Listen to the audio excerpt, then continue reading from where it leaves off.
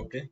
In a consignment so we saw what who is consigner and who is consignee what is the document prepared by consignee for my invoice and consignee will send a document that is account sales. These are the information just now we completed. Now we are moving to so how we will accountify in the books of consigner?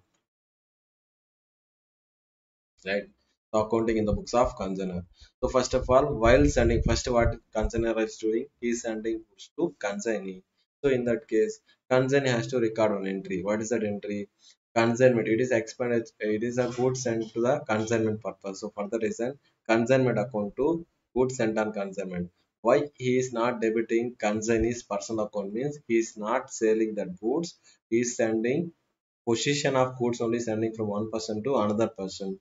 So for that reason we are using goods sent on consignment account otherwise if it means sales means receiver consignee only we have to debit consignee account data to we have to write. But here we are not selling goods to the consignee we are sending to the agent. So for that reason possession of goods only changed. So for that reason only consignment account data to goods sent on consignment account. We are using goods sent on consignment account right? Instead of writing this okay. Next expenses incurred by consignor in case expenses incurred by consignor means that is expenditure for the consignment business. So it's a nominal account. So we have to debit all expenses related to consignment. So in that case so consignment account data to in case if we paid through cash or supplier in case credit in case of bank. So consignment account data to cash or bank account. In case if we paid through cash or bank in case next advance payment. In case after receiving goods consignor will request advance payment. So in that case consignor will make payment. So he is receiving money.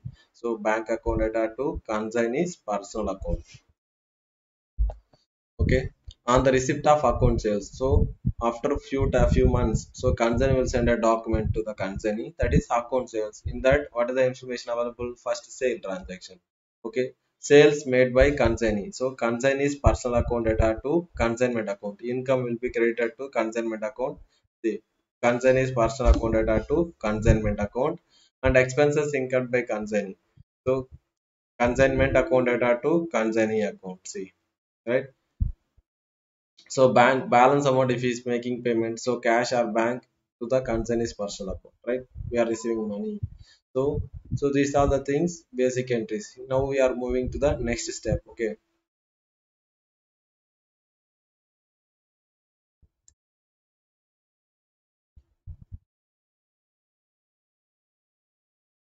Okay so.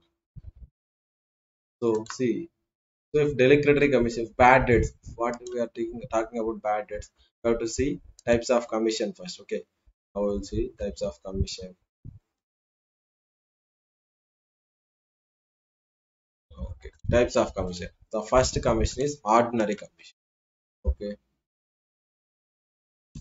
Ordinary commission. So ordinary commission. In this commission so consignee will get commission on total sales made by him. Is total sales sales multiplied with the so rate of commission percentage of commission some amount of percentage commission. Okay. Percentage of commission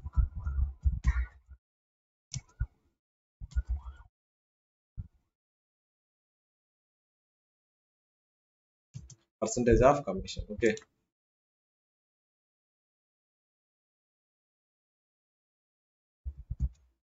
Percentage of commission right. So